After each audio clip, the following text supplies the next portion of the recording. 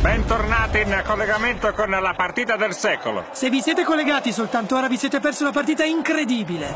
E siamo ai calci di rigore. Il primo tiro da parte dello Yale, il tiro e golla! Il tiro finisce alla sinistra del portiere anche se ne aveva intuito la traiettoria. C'è il gol, grande gol.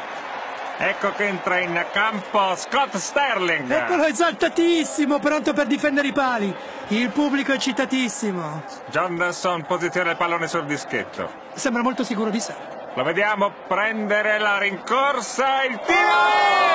Errore clamoroso! Johnson prende direttamente sul volto Sterling. Incredibile, una pallonata a 116 km all'ora. E sono molte miglia orarie in effetti. Ok, vediamo il medico in campo. Controlla che non ci siano traumi dopo il suo spettacolare salvataggio. Sterling sembra stia reagendo molto bene al colpo. La gente sugli spalti è in piedi. E anche lui direi che è in piedi. direi che i compagni hanno apprezzato il gesto atletico. È già un eroe. Per ora. Ed ecco lo Yale al secondo tentativo. Si avvicina alla palla con determinazione il tiro alto sulla traversa.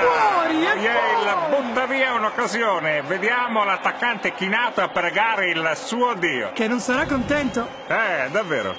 Di nuovo in porta Scott Sterling. Sembra si sia ripreso. È pronto per il secondo tiro. Parte il tiro no! da dischetto. Sterling con un bellissimo tuffo. Para anche il secondo tiro. La palla gli è passata tra le mani ed è stata fermata direttamente dal naso. E vediamo nel dettaglio il colpo. Il pallone che va a colpire violentemente il viso. 129 km all'ora.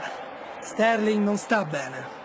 Due salvataggi incredibili e due conseguenze terrificanti per lui. Bruno, sono preoccupato perché non riesce a reagire, ad alzarsi in piedi. E infatti vediamo il medico trascinare Sterling come un leone baffuto trascina la sua preda nella savana. Ciao ciao Sterling, direi. Terzo rigore per lo Yale. C'è il portiere che sta saltando come una ragazzetta.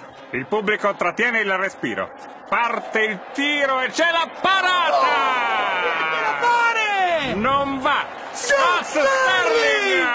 Sterling è ancora in campo! Non è possibile! E lo vediamo mettere in atto una tecnica particolare. Esatto, Bruno, serve a proteggere la faccia. Ora il pallone sul dischetto, ma attenzione, c'è una pausa. Il giocatore si allaccia alla scarpa. L'attesa si fa snervante. Sterling è ancora lì che aspetta il tiro. Probabilmente e si... Oh! Sbaglia completamente il tiro! Di nuovo in faccia! E direi che ormai il suo naso è completamente devastato. Sembra quello di una strega che volando si è schiantata contro il muro del pianto. E di nuovo un'altra parata del North Carolina. E ritorna Scott, Sterling! L'uomo! La leggenda!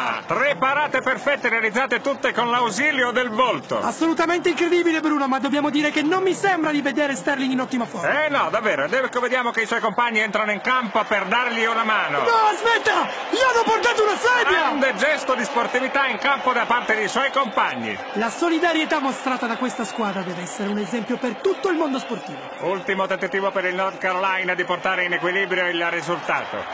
Oh! 168 km orari! Un missile terra-aria! Un tiro violentissimo! Senza pietà, uno dei tiri più potenti che si siano mai visti di nuovo, direttamente e ancora sul suo volto.